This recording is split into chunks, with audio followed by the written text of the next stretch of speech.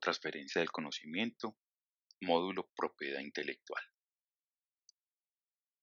Los acompaña Carlos Londoño, abogado de la Universidad de Antioquia, especialista en Derecho Constitucional del Alma Mater y de Propiedad Intelectual de la Universidad Externada de Colombia. Labora en la Unidad de Transferencia del Conocimiento, escrita al Programa de Gestión Tecnológica de la Vicerrectoría de Extensión. El módulo se dividirá en dos secciones. La primera relacionada con el concepto de propiedad intelectual como tal, y sobre una de sus áreas como lo es el derecho de autor. La segunda parte hará referencia a las variedades vegetales y, especialmente, a la propiedad industrial. En la primera, que corresponde a esta charla, abordaremos a su vez cuatro temas. ¿Qué es la propiedad intelectual? Su definición, las ramas que la componen y la regulación que de ella se tiene en la Universidad de Antioquia. Luego conversaremos sobre el contexto e importancia de la propiedad intelectual en la institución. En el tercer tema nos adentraremos en los derechos de autor, esto es, sobre qué recaen, quién es el creador, cuál es el concepto de titular y qué derechos otorga. En el cuarto y último explicaremos para qué sirve y cómo se realiza el trámite de registro de obras ante la Dirección Nacional de Derechos de Autor. La propiedad intelectual. El objetivo buscado en esta unidad es que comprendamos su concepto, que es a partir de qué y cómo se organiza o estructura y cuál es el elemento común a todas las áreas que la componen. Pensemos la propiedad intelectual como un término paraguas que cubre diversas áreas. Como un árbol con tres ramas, los derechos de autor, la propiedad industrial y las variedades vegetales. Y esa ramita pequeña podrían ser los aspectos relacionados con la misma que no entran en dicha clasificación, como lo serían los nombres de dominio, los derechos de imagen, los datos y el acceso a recursos. Pero, ¿qué es la propiedad intelectual? Su definición es la siguiente. Conjunto de normas que protegen las creaciones provenientes del talento o ingenio del hombre dentro del campo científico, literario, artístico, industrial o comercial, y que son dignas de reconocimiento jurídico, concediendo a los creadores y a otros titulares unos derechos sobre aquellas y subsidiariamente unas obligaciones frente a la sociedad. ¿Qué podemos decir de esta definición? Que existe un tipo de bienes, llamados inmateriales o intelectuales, para distinguirlos de los físicos como un apartamento o un coche, que son propiedad de alguien y que se establecen unas normas para garantizarles dicha propiedad y darles unos derechos, especialmente el de poderlos explotar. El elemento común sería que el propietario tiene un monopolio de explotación y nadie puede usar la creación sin su autorización, salvo casos excepcionales, como por ejemplo en los derechos de autor, que se llaman limitaciones o excepciones, y la más conocida y usada será el derecho de cita. La propiedad intelectual entonces tendrá tres ramas, la propiedad industrial, las variedades vegetales y los derechos de autor. Pero ¿cómo se organiza o clasifica? El punto de partida es que existe una creación proveniente del talento del hombre. Y de acuerdo con el tipo de creación se llevará a una de estas ramas. Si hago un logo símbolo, como el escudo de la universidad, irá al área de signos distintivos, mírenlo aquí, que hace parte de la propiedad industrial. Si obtengo una nueva planta, estará en variedades vegetales si pinto un cuadro, si escribo un libro, si realizo una escultura, estará en el área de derechos de autor. Es importante saber dónde se alinea porque dependiendo del área, la forma, los requisitos de protección, así como los derechos que se otorgan, son diferentes. La reglamentación. Entre las normas que regulan la propiedad intelectual se encuentran los tratados internacionales, las decisiones andinas y las leyes internas. En derechos de autor, Las más importantes son el Convenio de Berna, la Decisión Andina 351 y la Ley 23 de 1982. Esas normas lo que van a regular, digámoslo de manera sintética, es lo siguiente. ¿Cuál es la creación? Por ejemplo, en nuevas creaciones se llaman inventos. ¿Cómo y por cuánto tiempo se protegen? Por ejemplo, en variedades vegetales se deben proteger a través de un certificado de obtentor de variedades vegetales. ¿A quién se entiende como creador? ¿Qué derechos se otorgan a los creadores? ¿Y en qué momento o circunstancia las personas pueden usar esas creaciones sin tener que pedir permiso o autorización? Debemos añadir que prácticamente todas las universidades, por recomendación de la OMPI y otros organismos, tienen sus propios reglamentos de propiedad intelectual. Para nosotros son las resoluciones rectorales 21231 y 39944. La primera es el Estatuto de Propiedad Intelectual y la segunda la forma en que se distribuyen las regalías provenientes de la explotación de las creaciones. ¿Qué es lo que hacemos con estos estatutos? Es bajar al planeta universitario las normas generales, precisar de quién es la propiedad intelectual, de lo que hacen los profesores, empleados y estudiantes. Establecer reglas para realizar proyectos o actividades conjuntas con otras instituciones donde se involucre la propiedad intelectual se determina el modelo de administración y se generan unos estímulos para los creadores. La propiedad intelectual en el contexto de la Universidad de Antioquia. Nuestra intención es en este punto mostrar, hacer explícito que el centro, que el núcleo de las actividades de la universidad es la propiedad intelectual. Esta es nuestra percepción y de no considerarla así, que por lo menos lleguemos al entendimiento, al acuerdo de que es un elemento relevante en todo lo que hacemos. En el Estatuto General se establece que la institución tiene por objeto la búsqueda, desarrollo y difusión del conocimiento, mediante actividades de investigación, de docencia y de extensión. Estas son las que llamamos comúnmente como áreas o procesos misionales. En la docencia, en la formación de pregrado y posgrado, en los cursos de extensión como este, el conocimiento que se transmite y todo lo relacionado con él, digámoslo en forma esquemática, se materializa en una creación y ésta está protegida por la propiedad intelectual.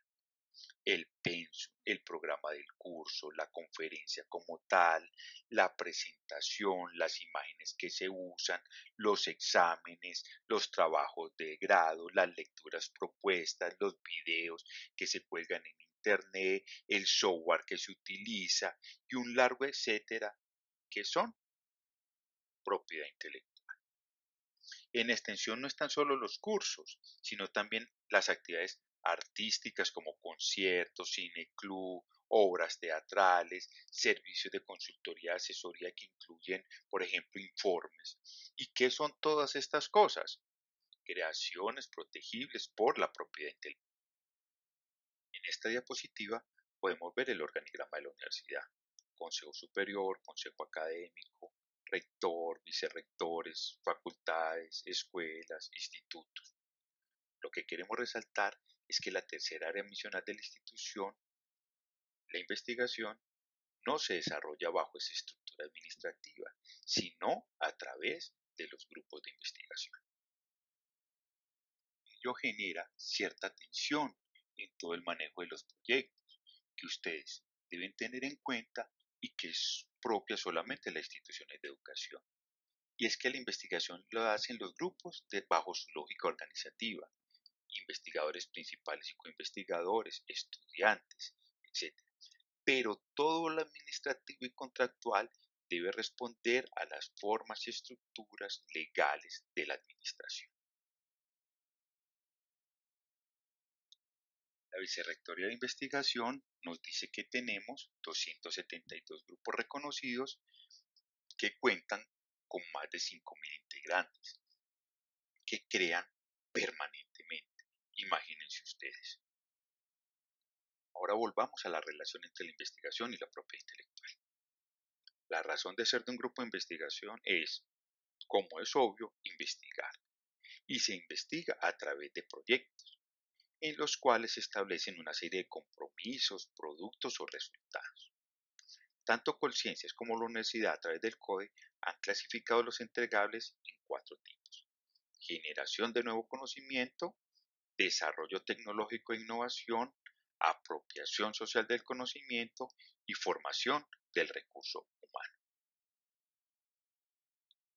La invitación es que veamos esos productos en la lógica bajo la luz de la propiedad intelectual. Miremos qué comprende. La generación del conocimiento, de nuevo conocimiento, está representada en artículos, libros, capítulos de libros, obras artísticas como guiones, multimedia, partituras, cortometrajes. También están variedades vegetales, patentes y presentación de ponencias en eventos internacionales.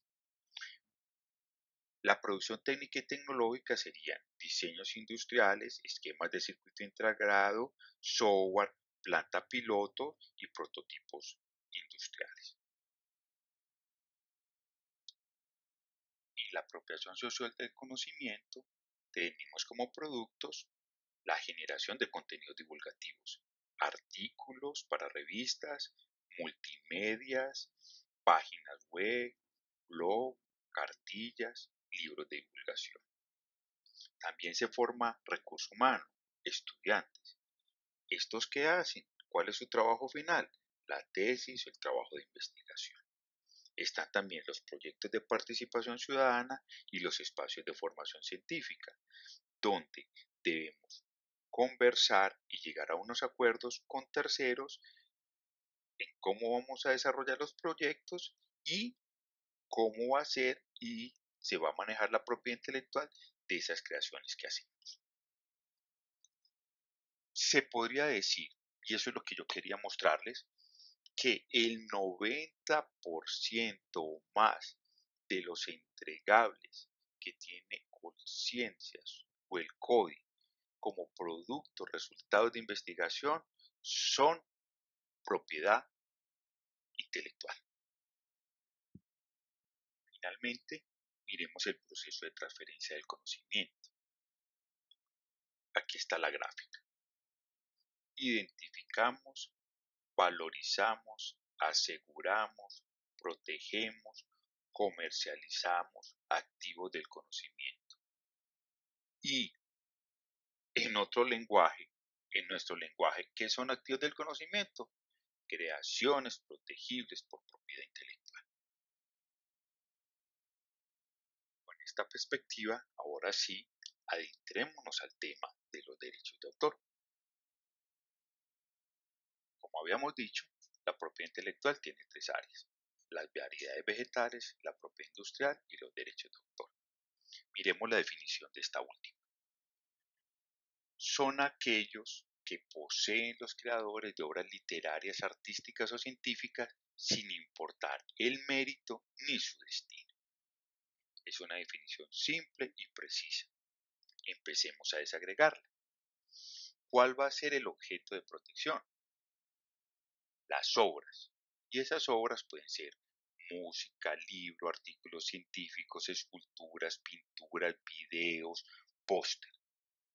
Cuando hacemos esta clasificación de las creaciones, lo que estamos haciendo es eliminar del área de protección de los derechos de autor otro tipo de creaciones como pueden ser los inventos, las marcas o los diseños de circuitos integrados. Otro elemento a resaltar de la definición es que solo se salvaguardan las creaciones, las creaciones provenientes del talento del hombre. Ello implica que no se protegen las ideas, sino la forma en que éstas son expresadas. Que yo quiero hacer un curso de propiedad intelectual, que trate los temas de qué es la propiedad intelectual, cuál es su importancia en la universidad, cómo opera, el que va a estar dirigido a profesores y personal administrativo, esa será la idea. Y cualquiera la puede usar y montar el curso, el mismo curso. lo que se va a proteger es esta presentación en PowerPoint, que es la forma en que se concretó esa idea. Esa es la creación, esa es la obra. Tampoco se protegerá lo realizado por animales o máquinas. Sobre este último punto hay un gran debate sobre qué hacer con las creaciones mediadas por la inteligencia artificial. El tercer aspecto relevante es que no importa el mérito. Miren, por ejemplo, a la izquierda unas fotografías que tomamos de internet. La primera no tiene nombre, parece un tablero pintado con tiza, pero fue vendido por 70 millones de dólares. La segunda es una fotografía de la cama del artista Tracy Emin que atrapa al espectador con exploraciones de su vida privada que reflejan las emociones universales. Y la tercera es la descomposición de unas lechugas. Al derecho de autor no le importa si son obras de arte o no son obras de arte. Lo único que le importa es que son unas creaciones surgidas del talento del hombre y por tanto están protegidas. El último elemento es que tampoco importa el destino, sino la forma en que está expresada. Eso se puede ejemplificar con la receta de cocina. A diferencia de las patentes, cualquier persona puede leer la receta y hacer la sopa de calabaza y zanahoria. Lo que no puede hacer es copiarla tal y como está escrita sin permiso de su propietario. Si los derechos de autor son aquellos que poseen los creadores de las obras, la pregunta lógica es, ¿cuáles son entonces esos derechos?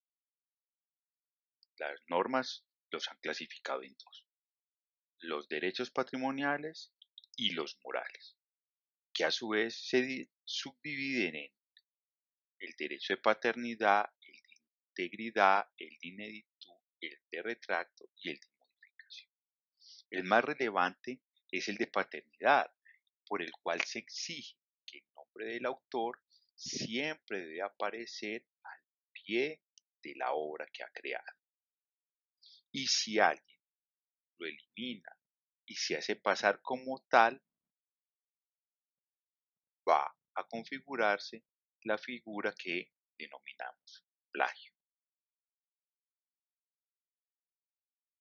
Los derechos patrimoniales incluirán todas las formas y posibilidades que tenemos de usar o explotar las obras, ya sea reproduciéndola, que es cuando editamos un libro o sacamos fotocopias, comunicándola públicamente, como en una conferencia o en una transmisión por radio, o una forma que adquirido una relevancia absoluta en estos últimos tiempos, que es utilizar las obras a través de Internet, lo que llamamos técnicamente puesta a disposición.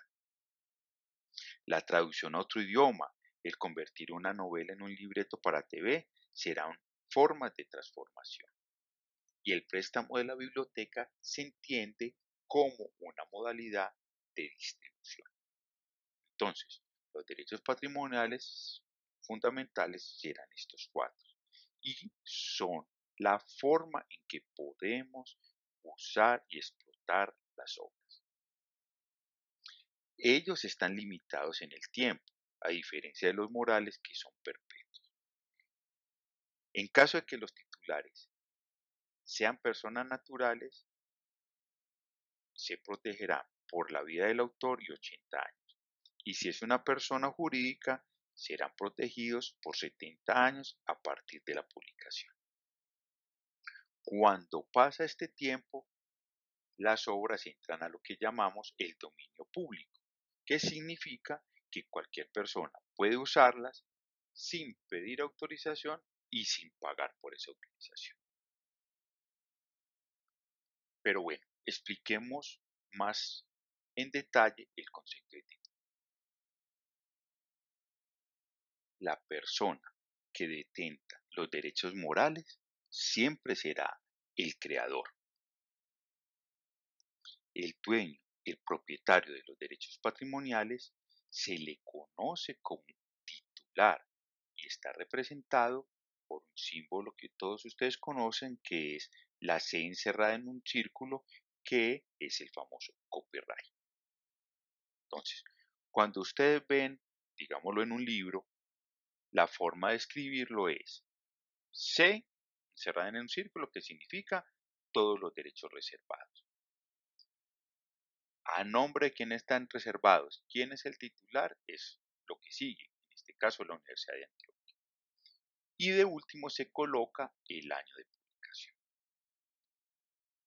En principio los derechos patrimoniales son del autor, por eso se le llama titular originario. Pero cuando esta persona es trabajador, contratista de prestación de servicio o un empleado, se presumirá que los derechos pasaron a ser del patrono, empleador o contratante. Esto significa que todo lo que hagan los profesores de la Universidad de Antioquia le pertenece a la universidad. La segunda forma de que existe un titular derivado es cuando vendemos esos derechos, que técnicamente se llama cesión. Y cuando seguimos siendo dueños pero permitimos que otros lo usen, se llama licencia. La otra posibilidad que esos derechos pasen a otra persona es cuando el autor fallece y se le trasladan a los herederos.